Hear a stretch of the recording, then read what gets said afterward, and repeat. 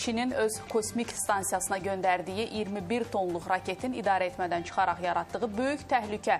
Bu barədə məlumat vermişdi. Nə vaxt və hara düşəcəyi hələlik bilinməyən raketlə bağlı Amerika Birləşmiş Ştatları hökuməti hərəkətə keçmişdi və bu gün Pentagon sözçüsü Miles Howard həmin qeybə çəkilən raketin mayın 8-də yerə düşəcəyini, daha doğrusu hesablamalardan belə bir gözləntidə olduqlarını açıqladı. Bəli, çox qorxulu bir xəbərdir əslində. Raketin qalıqlarının yer üzündə hansı nöqtələrə düşəcəyi hələlik dəqiq bilinmir. Bu ancaq raketin yerə çatmasına saatlar qalmış məlum olacaq deyə Pentagon rəsmisi bildirib. Harvard Universitetində araşdırmasına əsasən idarə etmədən çıxan raket parçalarının şimal və can, cənub yarımkürədə 41-ci paralellər arasına düşməsi ehtimal edilir ki, bu koordinasiyalar haranı göstərir? Ən pis ssenarilər nələrdən ibarətdir? Raketin idarə etmədən çıxmasındakı səbəblər nələrdir? Bunu aydınlaşdıracağıq. Türkiyə Kosmik Agentliyi İdarə Heyəti üzvü Lokman Kuzu bizə hazırda xəttə gözləyir. Hər vaxtınız xeyir Lokman bəy. Merhaba, iyi akşamlar. İyi yayınlar diliyorum. Təşəkkür eləyirik sizə. Pentagon hələ ki bu raketin hara düşəcəyinin məlum olmadığını bildirir, amma Harvardın hesablamalarına görə şimal və cənub yarımkürədə 41-ci paralellər arasına düşəcək.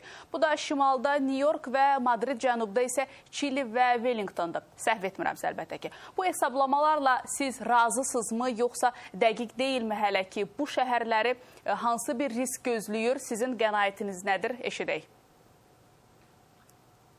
Ro- roket e, istenmeden bir şekilde normalde modülünü e, bıraktı uzaya, yörüngeye soktu ama kendisi de yörüngeye girdi. Normalde yörüngeye girmesi değil, düşmesi bekleniyordu. E, tabii büyük bir roket e, ve bu roket e, hava durumu tam bilinemediği için e, kestirim yapılamıyor. Onun için e, 8 Mayıs Cumartesi günü son birkaç saat kala e, artık irtifası yeterince düşmüş olacak ve atmosfere girip ya yanacak ya da bir yerlere düşmüş olacak. Ondan sonra kestirim yapılabilir. Ama 28 bin kilometre bölü saat hızla giden bir roketten bahsediyoruz, bir parçadan bahsediyoruz. Dolayısıyla o kestirim yapmak çok zor. Geçmişte bu tür problemler yaşanmıştı. 2016 yılı, 18 yılında yine kontrolden çıkan bir Çin e, istasyonu e, düş, düşmüştü ama sonuçta Tahiti tarafında bir denize, e, okyanusa düştü. Bir zarar vermemişti ama vermiş olsaydı çok büyük sorunlarla karşılaşmış olacaktı Çin. Uzay hukukunda bazı belirsiz noktalar var. Belki onlar gündeme e, taşınmış olacaktı. İnşallah gene okyanusa düşer.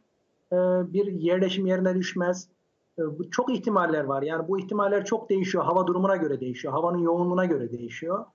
E, yani bir gör, yani dua etmekten başka çok da bir yapılacak bir şey yok. Bazı arkadaşlarımız bana ya vurulamaz mı gibi e, tekliflerle geliyorlar. E, daha büyük yani onu parçalara ayırdığınızda bu sefer tehlikeyi daha da büyütmüş oluyorsunuz.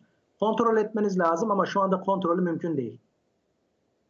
Aydındır. Digər bir məsələ ilə bağlı da fikirlərinizi eşidək. Çinin ilk e, kosmos stansiyası üçün göndərdiyi yaşayış sahələrinin ilk modulunu daşıyan raketin gövdəsinin nəzarətdən çıxmasının səbəbi nədir sizcə? Burada hansısa səhvdən və yaxud da ki, düzgün aparılmayan hesablamalardan gedir söhbət, yoxsa bu e, sırf texniki bir məsələdir? Bu uzayda e, yörüngeye sokmak e, hassas e, kontroller gerektiriyor, aviyonik kontroller gerektiriyor. E, yani genelde bu tür bu tür e, kontrollerde e, yani bir çok küçük sapmalar olabiliyor, kazalar olabiliyor. Dolayısıyla burada da e, yörüngeye girmesi istenmiyordu roketin, düşmesi bekleniyordu ama yörüngeye girmiş oldu.